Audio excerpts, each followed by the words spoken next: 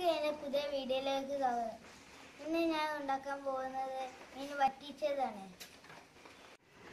ഇന്ന് ഉണ്ടാക്കാൻ പോകുന്നത് അയില ആണ് മീൻ വറ്റിക്കുന്നത്.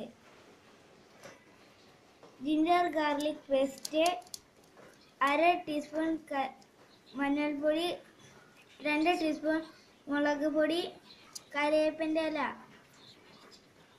കാശ്മീരി ചില്ലി പൗഡർ ഒരു ടീസ്പൂൺ ആവശ്യത്തിന് ഉപ്പും.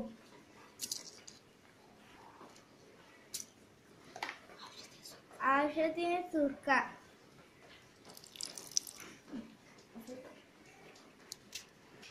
കുറച്ച് വെള്ളം കൂടി ചേർത്ത് കുഴച്ച് വെക്കുകയാണ്. അല്ലെങ്കിൽ കുറച്ചുകൂടി വെളിച്ചെണ്ണ കൂടി ഒഴിച്ച് ടേസ്റ്റ് ഉണ്ടാകും ഇത് നേരത്തെ ഒഴിച്ച് വെള്ളം വറ്റുന്നത് വരെ അടുപ്പിൽ വെക്കുക. ടേസ്റ്റിയായ മീനാണ്.